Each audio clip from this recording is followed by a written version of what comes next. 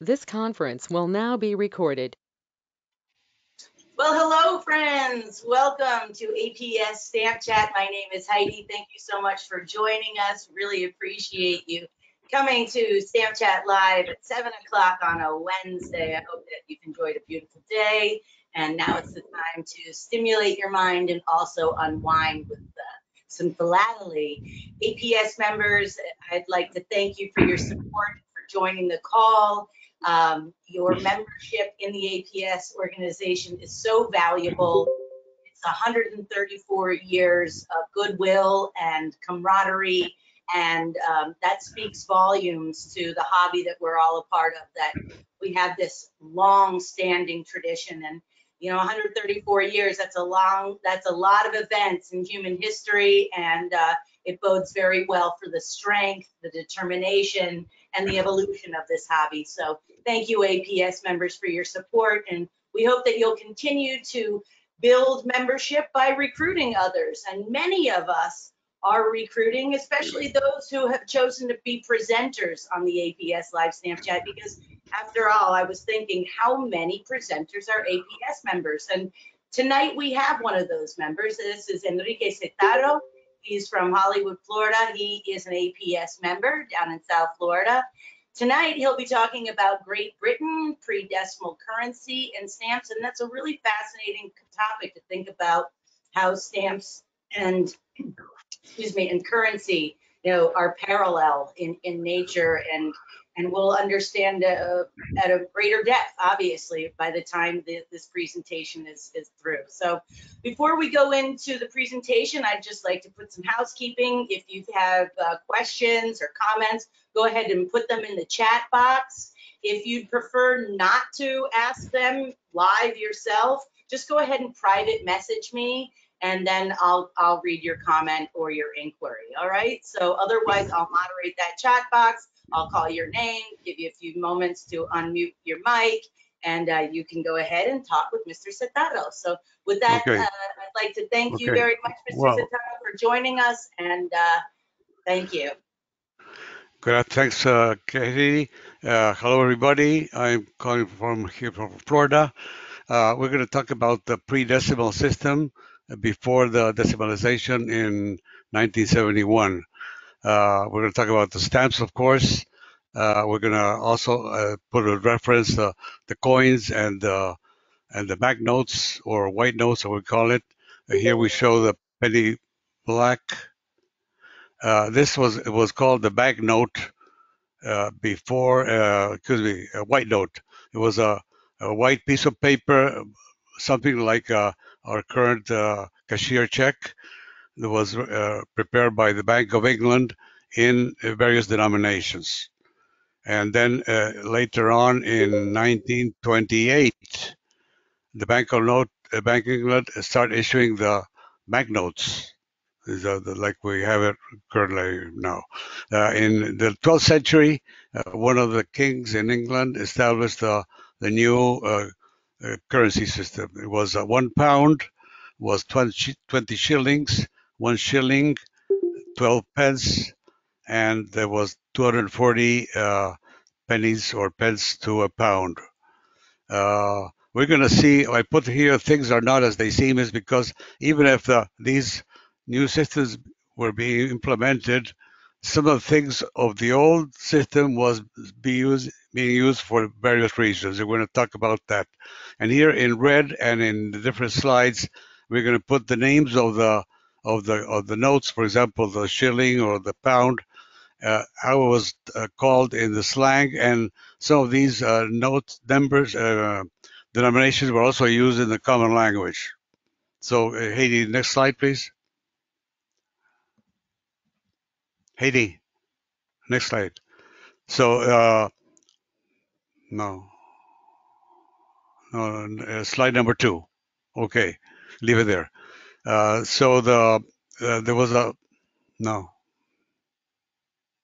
Yeah, your first, your Okay. your first slide. Uh, the guinea was a coin. Uh, number two. Leave it there. It was a coin that was uh, originally came from gold from the uh, British Guinea, uh, and that was in the started in the 1600s, I think we're on this One. and that, Yeah. it was called Guinea because it came from there.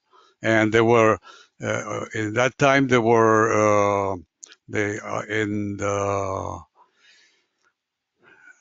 12th, 12th, um, 12th century they established the the new the currency system of uh, pound, shillings, and and pence. Uh, but in uh, the the paper currency did not occur until the the the trees from India, from China, they had created a, a pulp paper, and they used from the trees, and they uh, where the trades started occurring between England and uh, Far East, they brought uh, the the paper uh, pulp, and they started issuing the the white notes. And when the, there was only coins before the paper, there were uh, gold coins, uh, half a guinea coins, uh, silver coins, and other metals also. And uh, originally, the the guinea was equivalent to one pound, but then the as the gold became more uh, expe- uh, scarce, it was changed to one pound and one shilling. One guinea was equal to one pound and one shilling. And here you can see the on the left uh, a gold coin of uh, one guinea and half a guinea. Next slide, please, Katie. Um, so in 1155, they introduced Henry the, the It's not me; it's Henry II. Introduced the the currency system. There were gold, basically gold, silver coins, and other metals. Uh, then they, in 1663, they introduced the guinea, and uh, uh, Bank of England, um, in addition to coins, uh, started uh, uh, printing the the white notes, and then in 1928, the banknotes. Hmm? In 1971, the old system was replaced by the decimal of one pound and 100 pence. I can see here at the at the right the top one is a, a, 50, a 50 pound white note, and then underneath is a five pound uh, banknote. Next slide, please.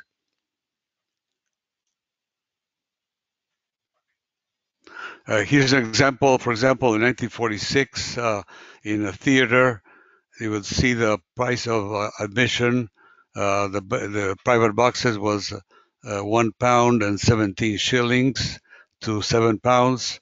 The stalls are 16 shillings and six pounds, and so forth. The next slide, please.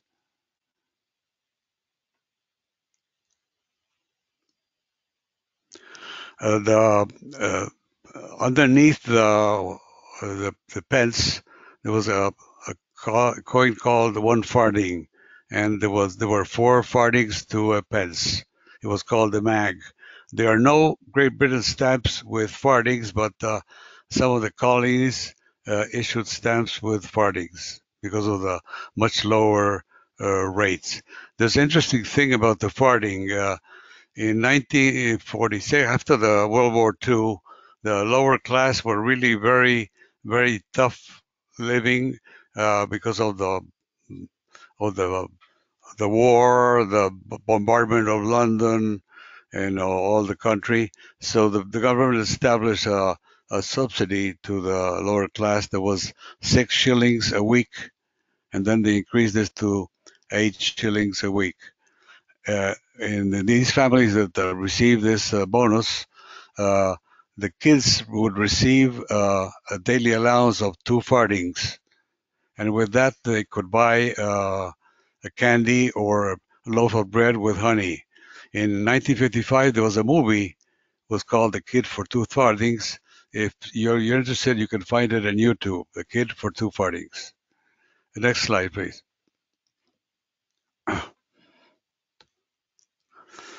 Then we come with half a penny, very common in the British uh, area. It's called halfpenny. And strangely here, uh, why are they called two farthings? Why is it half a penny? but that's it. That's how it is. we see here Queen Victoria half a penny and uh, George V half a penny and the coin. Uh, number seven, Haiti. Uh, one penny, the famous uh, penny black.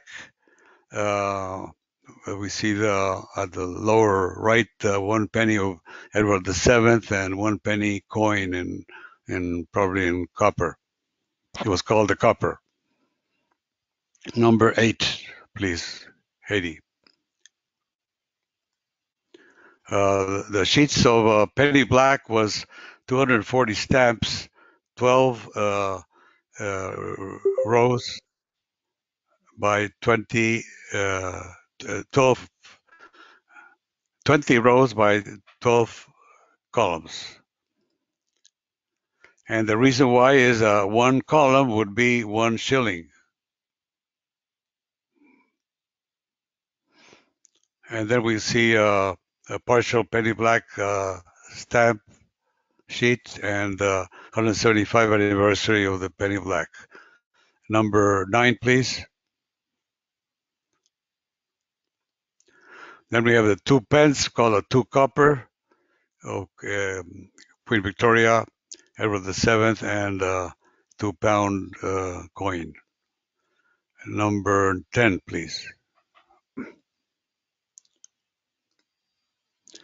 Uh, two and a half pence. Uh, there, were, there were stamps of Queen Victoria, Edward VII, George V. There were no coins of two and a half pence, but there was a coin of one-thirtieth of a shilling. That is more or less similar to the two and a half uh, pence. Number 11.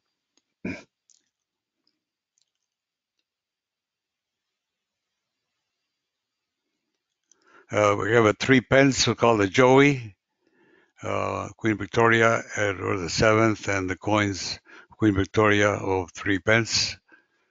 Number 12.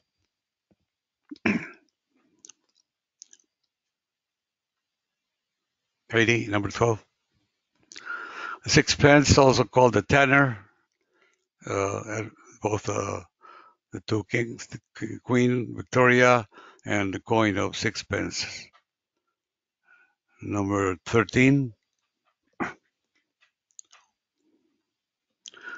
One shilling is called the bob. Queen Victoria, Edward uh, George V, and uh, one shilling coin. Number 14, please. Two shillings uh, was called two bob bits. There was also a coin of one florin, equivalent to uh, uh, two shillings, but the stamps only were printed in two shillings version, not in one florin. Uh, number 415. Uh, two shillings uh, and sixpence. Also half a crown uh, because the crown was five shillings and it was, no, uh, 15, leave it back. And it was also called a half a dollar. Now in the in the center, you can see uh, uh, a seahorse, two shillings and sixpence, and underneath it says half a crown. Uh, and then here at the right, you see the Queen Victoria uh, half a crown coin. Uh, the next slide, please. 16.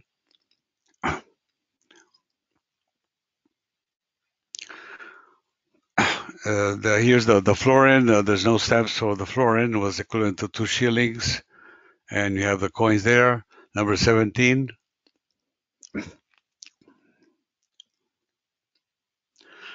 Uh, one crown is five shillings, uh, also called a dollar. Now here the strange thing is the the seahorse of five shillings. It says five shillings, doesn't say one crown. Huh? So something different what we, we would expect. And we see also a queen, a king, uh, Edward VII, a stamp and a coin of one shilling, five shillings, uh, or one crown. This is five shillings. Uh, number 17.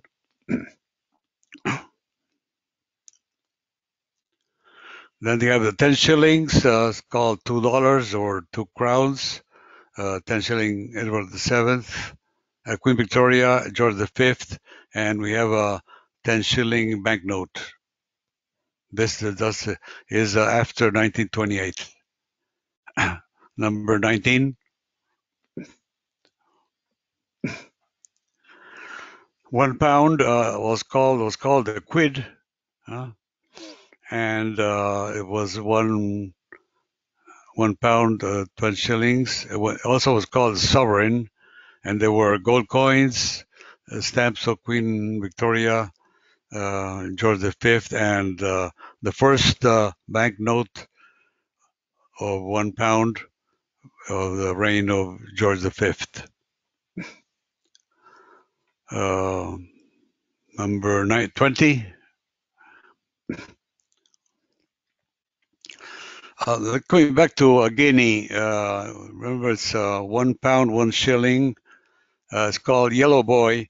And the strange thing is, even if the, the last coins were printed in the 1700s or early 19, 1800s, it was used very extensively uh, as a um, sign of uh,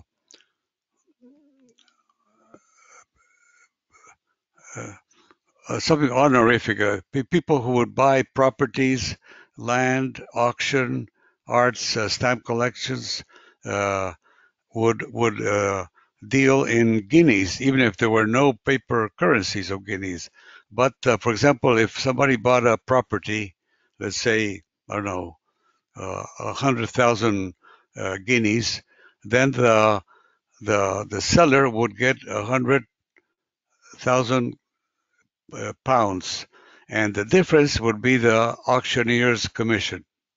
The same thing would happen with uh, stamp collections. Uh, even also uh, when you get a, a tailor to make a suit, he would uh, charge you so many uh, guineas.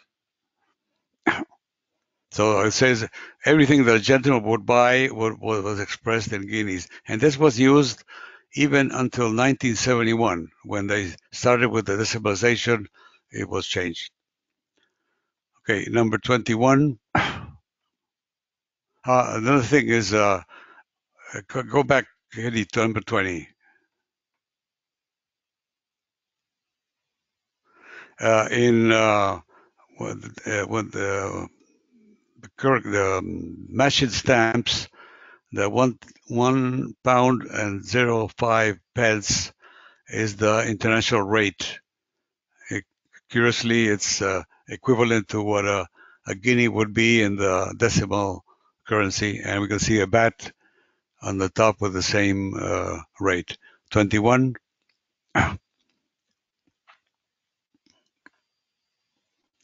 Uh, here's a banknote of 1792 uh, of one pound, one shilling will be equivalent to a guinea.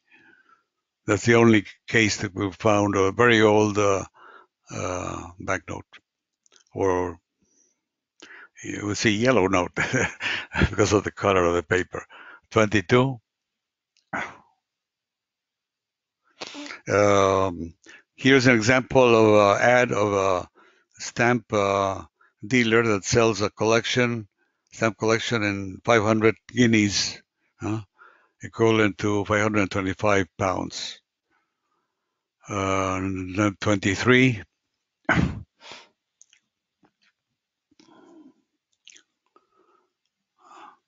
Well, let's skip this slide. We already talked about these things. 24.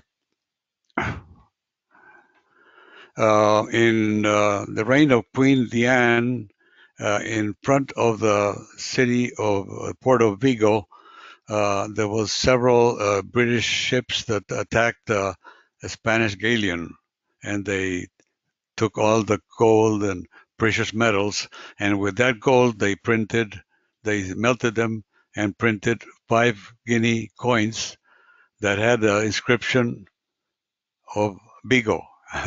so they they not uh, they're really sharing that they they they got this money from the Vigo uh, battle. Uh, next uh, slide, 25. Uh, in 2013, there was a, a a coin of two pounds to commemorate the, the guinea. Uh, a coin commemorating another coin. 26.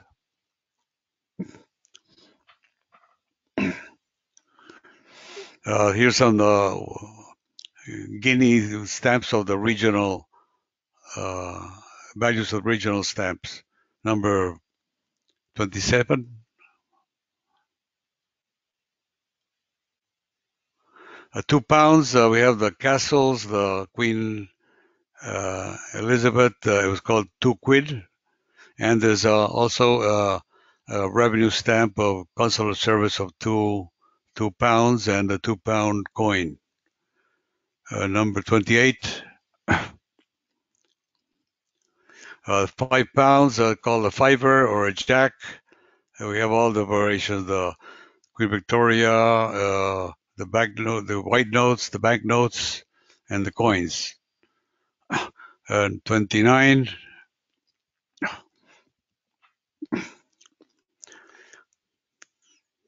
Uh, well, here we have the, the in 2000, I think is uh, this year in February they issued a, a paper polymer banknote that has a transparent uh, background and uh, Queen Elizabeth on the front and uh, George uh, Winston Churchill on the back. But 30, number 30, the 10 pound is called a tenner or a crockle. Uh, there's uh, only one stamp of Great Britain, of the Britannia of 1993, uh, for 10 pounds. Uh, there's some stamps of the colonies. Uh, we can see a white note and a bank note and the coins. Uh, 31, 20. From here on, there no there's no stamps, uh, but uh, 20 pounds was called a score, and we can see the bank note, the white note, and uh, uh, 20 pound coin. 32. Uh, it's called a pony, 25 pounds. And also we can see uh, white notes were issued between one pound and 1,000 pounds or any denomination you wanted as a, a normal cashier check. You could have it prepared to buy, pair anything you wanted. Uh, so this is a pony. Uh, number 33.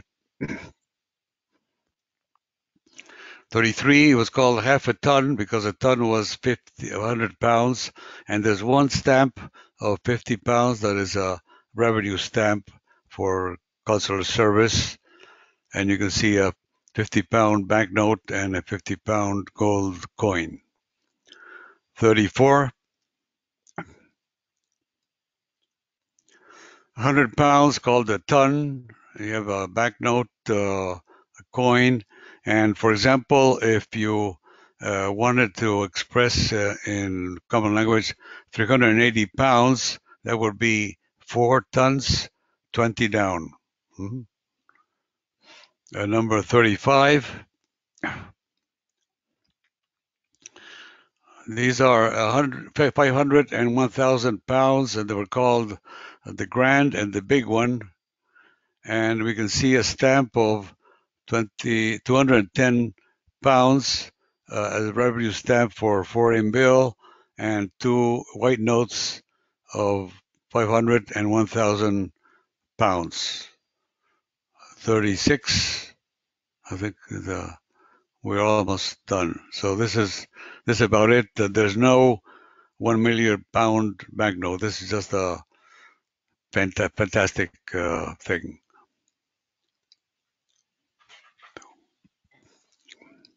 Not a penny left. Excellent. Are you finished, Enrique? Yeah, I finished. Yeah. That's what I thought. All right. Uh, really, the 10 pound uh, stamp uh, was used mainly for um, uh, par- large parcel posts, uh, rarely used on covers. There's only first day covers for the 50 pound, and it was also excessively used for uh, revenue applications. The stamps you can find with a, a CDS called a circular date system uh, is uh, stamps from uh, large parcel posts or you can it in combination with uh, multiples blocks or strips of two and three and so on the stamps to complete uh, the rate. There was not a, a specific postal rate for that. Uh, the question of uh, Jeffrey, I'm not sure I understand. Let me see. Uh, the names came from the slang and it was also adopted uh, in the common language. I don't know why it did happen like that. Thanks. Uh, wow, I don't know. Wow, you're moderating yourself. I, I really didn't even have to show up. This, is nice. I just had to press slide by slide. Yeah, no. Uh, I don't see, unless anybody would like to ask a question on camera. I'd like to ask you, Enrique, because I'm Yeah. always, I, I'm, I'm always curious as to your stamp story. Like, why? Why did you get into, why, why this subject? because I I, I found uh, I remember there was um, a, a radio program uh, of a guy who, who went to, an American guy who went to England and he went tried to buy a property and they told him he had to bid in guineas. And he said how do I pay this? So and then I started seeing all these Well, I started collecting stamps. Uh, for example the seahorses the two shillings and sixpence was half a crown but then the the five shilling was not called a crown. All these disparities of the, the, the things that were continued to use the old traditional system because it was very uh, classy to deal in pounds, in guineas, and not in pounds. And is it, is that still used today, like colloquially? Will, will people? Nah, well, the, yeah, the the the quid is a, typically a, a, a pound, and the and the bob is a shilling. Well, not the shilling. The uh, pound is called a quid in the common language. yeah. Shilling no longer exists. What happened is when the, in the stamp club, I there's a guy who's actually from England, and he told me when they did the decimalization, what happened is all the things that were expressed in in very low, uh, like pennies, pence, 10 pence, something like that, were converted to 10 pence in the decimal. But that means that the, the actual value was like double because uh, in the old currency, one pence was 240th of a pound. And the new system, it's one hundredth of a pound. So all the low value stamp uh, items that you bought went up in price. And and where, where do you find most of, you know, do you shop uh, stamp store? Do you shop eBay? Where do I, you? I I buy an eBay, Delcampe, and some dealers. Uh, uh, there's several dealers in the UK specialize in different areas. Also a member of the Great Britain Philatelic Society. And how long have you been, how long has this been your, your area? How long have you been studying this area? Well, I started collecting when I was a kid. A friend of mine, my father had a friend who worked in Geneva, and he brought me a bag full of stamps, and I started collecting there. But uh, more strongly, I started collecting when I moved to the U.S. I was living in Mexico before, uh, first Argentina, then to Mexico, and then in 1992 I came to the U.S. And do you, do you have other people in your club, uh, Enrique? It's a very large club. It's a very large club. It's uh, but like that- 80. that Have that similar interest with the pre-decimals? Yeah, a lot of people collect the Great Britain. Yeah, not always, not always, but uh,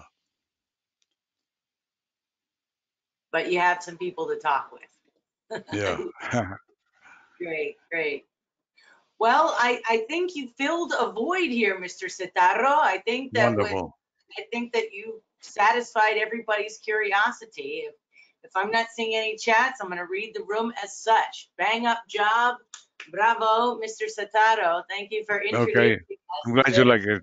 Okay. Yeah, it was great. Mr. Setaro will be back with us Do you know your own date? Jeez. Um, I know you'll be back. I can't wait for the talk on June 26th about chocolate. I know. Yeah, chocolate, chocolate, yeah. We need to figure out how to put the slides, share the slides from my We side. can do that. We can do that. But anyway, Okay. everyone, Okay. thank you so much. You read your comments, Enrique, while I Okay. bid everyone adieu, so you can see your accolades. Take But care, everybody. Yeah. Be safe. Be safe and thank you everyone so much for joining us on APS Stamp Chat again. We really appreciate our members' support. Real, it's it's it's your generosity and commitment to philately and and to this incredibly rich, dynamic, ever-growing, ever-expansive hobby that we are so fortunate to have been gravitated towards and into. So um, thank you so much for your support. Remember, we do have the Adopt a Book if there's a favorite philatelic book that you love that you can really say you know this was a pivoting moment where i i i changed uh, you know we probably have the book at the aprl and guess what? For a $50 donation and up depending on which publication you can get a nameplate in there and be part of a legacy. Well you already are as an aps member but a continued legacy and member and part of the aprl and share that passion because that's what i think that's the heart, the crux of this is uh, expanding our world and our minds and also sharing. Sharing is caring. So thank you so much, friends, for joining us on APS Live Stamp Chat. We, you can find this and every other Stamp Chat on our APS YouTube channel. The playlist is Stamp Chats, and uh, we will have our next Stamp Chat on Friday, 7 p.m. Eastern. Graham Beck, creator of Exploring Stamps, will be with us. So I hope you'll join the call and invite a friend or two. Again, thank you, Mr. you. Setaro. Thank You you for your help. Thanks for your help. your time. So thank you so much.